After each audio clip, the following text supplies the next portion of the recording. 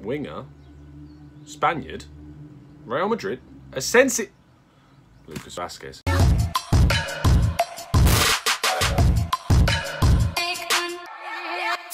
Hello and welcome to the Gooner Talk. Back again with you guys for another show, for another episode of our tactical breakdown series, in which we look at the players that Arsenal could, should, maybe, fingers crossed, hopefully will sign for Arsenal this summer. Uh, and it's, it's it's nice because I'm recording a couple of videos basically uh, in lieu of what is going to be a nice weekend for myself. I'll be away in the New Forest, but I want to keep you guys uh, as well informed as possible over the weekend. So I'm pre-recording uh, a couple of videos for you that you'll be seeing today, Saturday, uh, and tomorrow's on Sunday as well. Obviously, you hopefully you would have already checked out yesterday's video, which was a season preview with Hugh Wizzy, and we talked about uh, a lot of things that are going ahead with terms of transfers, where we see Arsenal moving next season. Uh, and we got Hugh's thoughts on all of those kind of things. So please go check that out. And if you're enjoying the channel, of course, please give it a like, subscribe, and turn those notifications on so you never miss a show. But of course, the reason you're here is to get the breakdown of Lucas Vazquez, who has been linked with a 32 million euro move from Real Madrid to Arsenal. Now, Lucas Vazquez has obviously been at Real Madrid for quite a while. Um, he is what you're going to hear very soon from a good friend of mine, uh, not particularly a Galactico, uh, more a player which they sort of bought and then just developed uh, from a younger age and has stayed there and been sort of a utility player for them. Um, but I'm not going to steal too much of the guy's thunder that I'm going to let speak in a moment. But let's just have a quick background on the guy. 29, uh, sorry, 28 years old. Uh, quite old uh, for a player of his level to still be at Real Madrid. So it surprises me he's stayed there this long without being uh, a hugely successful player. He just sort of has been this this squad player that's always sort of been around in that Real Madrid team. And last season he made 47 appearances, which is is a lot, is a lot for Real Madrid, but not too many of them were starts. And in those appearances he scored five goals and got four assists. Not really the scoring or assisting record that you'd see uh, lighting up Arsenal's Twitter sphere uh, and getting people excited. Um, but before I go on any further and go into the guy's stats, of, of course, I like to give you uh, the best possible breakdown as I can. And obviously, that is with the help of some football experts. And for today, uh, there is no one better, in my opinion, to get the thoughts of, but from Sky Sports uh, Spanish pundit, who obviously used to run uh, the La Liga Weekly podcast, now runs his podcast still with Terry Gibson, which you'll find the link for in the description, and that is Jon Driscoll. So I'm going to hand over to Jon now, and he's going to tell you all he knows about Lucas Vazquez. So what's the opposite of a Galactico? Whatever that is, that's what Lucas Vazquez is. He's all about the hard work. He was he came back to Real Madrid, having come through the ranks at Real Madrid, went off to Espanyol, did okay, did well, came back to Real Madrid, and the reason they wanted him was the the contrast from the BBC. So you had uh, Cristiano Ronaldo, who wouldn't track back. You had Gareth Bale, who didn't really work hard enough. And you had Karim Benzema, who was the main centre forward. So the contrast to that was Lucas Vazquez, who was all about the hard work up and down that right flank. And Zidane really liked him for that reason. So he was a surprise hit first time round under Zidane. Zidane is back. They've spent an absolute fortune now, under a lot of pressure to do so because of the utter failure last season for Real Madrid. So Hazard there, Jovic, has come in. They've still got Isco. They've still got Ceballos, who they want rid of.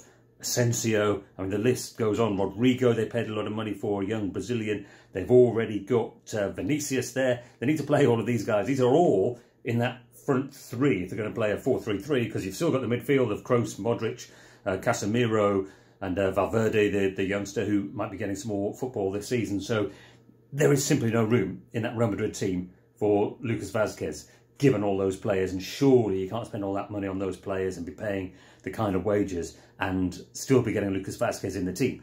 Uh, so for me, the kind of fee that Arsenal have been linked with paying is just is simply too much for what is essentially a solid, hard-working player. He'd do okay in the Premier League. You quite like him. He would never upset anybody. He put he put the graft in. But with Arsenal's limited resources, I'm not sure that you want to spend a significant sum of that on a player who is essentially a hard-working, right-sided midfielder who can who can do a job as a right wing back and desperate you know desperate measures can fill in at a right back. So for me, it seems a it seems a lot of money for uh, a non-Galactico. So that was Jon's thoughts there on Lucas Vazquez. Uh, very hard-working player, as you can tell. And if you want to hear more of Jon's thoughts, you can still check him out on, whilst it may not longer be with Sky anymore, but it is certainly carrying on in full force, the La Liga Weekly podcast at La Liga underscore weekly on Twitter. Jon, you can find at Driscoll FC, uh, and you can go watch their two part special on a lot of La Liga transfer targets. If you like your transfers, like I'm sure you do if you're watching this show, it's definitely worth going and check that out with the link in the description. So please, please do. Um, but yeah, let's carry on talking about Lucas Vazquez. Obviously, what Jon said, he's a very, very hard working player. He runs up and down the pitch, he gets stuck in, he gets involved. His defensive stats are great, which we're going to come on to in a second. Um, but basically, to the fact that we paid 32 million for a guy like Lucas Vazquez, who ultimately would just do a job, as the, uh, the, is what it basically is called in these days. Talking about players, it's not the player that we want. Now I'm going to run through some uh, some statistics to back up that theory with the player that obviously Arsenal are being linked to heavily, and I've already submitted a bid him for, and that is of course Wilfried Zaha. Now you can expect to see uh, in the stats that are in front of you now that.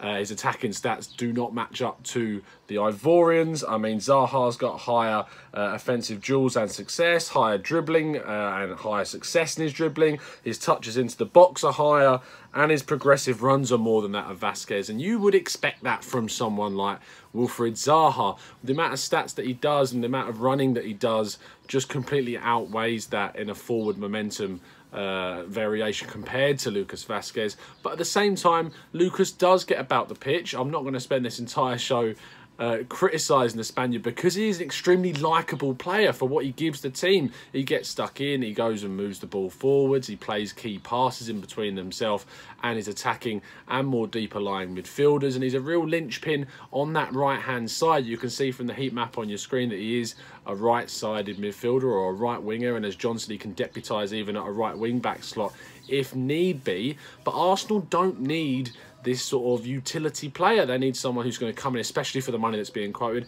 who's going to come in and really take the team by the scruff of the neck and move them forwards. In terms of his passing, then you can again see that uh, it's, it's slightly mixed between the two uh, passes. Uh, actually, the amount of passes he makes and the accuracy of those is higher for Vazquez compared to Zaha. The number of long passes he makes is higher, but Zaha's are more accurate.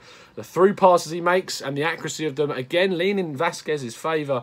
Uh, and his crossing, the number of crosses that he tries, again leads in in the Spaniards' favour. But the accuracy side of those sides with Zaha. But then again, Vazquez takes over for the pass into the final third, both in numbers and accuracy. And it's the same story for his passes into the box and, ironically, the amount of passes he receives on the pitch as well. Even though you think of Zaha as a player that you'd pass the ball to and expect him to run off and do what he does best.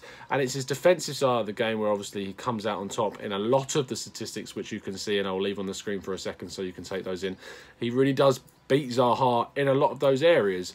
And whilst we're talking about a player that beat Zaha in his defensive stats and he beat Zaha in a lot of the passing stats, it's funny that we're still not talking about him in a way in which we know that he'd come in and light up our team because he's just not the type of player that we need or want for that position. If we want someone to come in and back up our front line and be supported by some of the best passing that goes in in the Premier League from that creative standpoint that should be at Arsenal, and hopefully we'd see that with the likes of Nabil Fekir uh, possibly coming into the team, and with some obviously extra creativity from a, new fullback in Kieran Tierney and a, a returning fullback in Hector Bellerin then you want to see someone who can run in behind, really be clinical in the finishing, uh, and be a starter for, for, for a big team rather than someone who's just thought of as a bit of a backup player can come in and do a job. We don't want that. We want someone who's going to take those games to the opposition, and that guy is definitely Wilfried Zaha. So it goes to show that even though the stats lean